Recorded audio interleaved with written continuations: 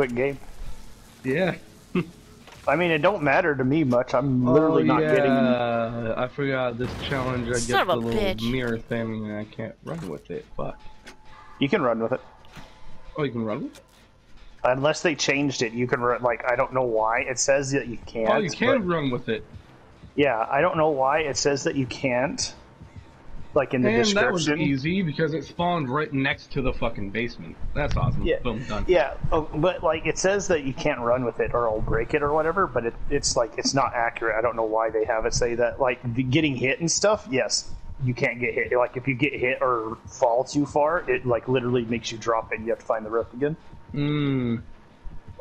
Also, there's a map in the basement. It's a green map. There's a Holy map. shit! There's a map. Hey, you know what else there is? A finished I shouldn't, I, sh- I shouldn't said anything.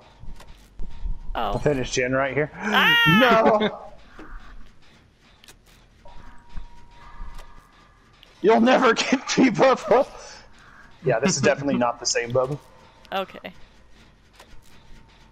Is- Are you bullying this Bubba? A little bit.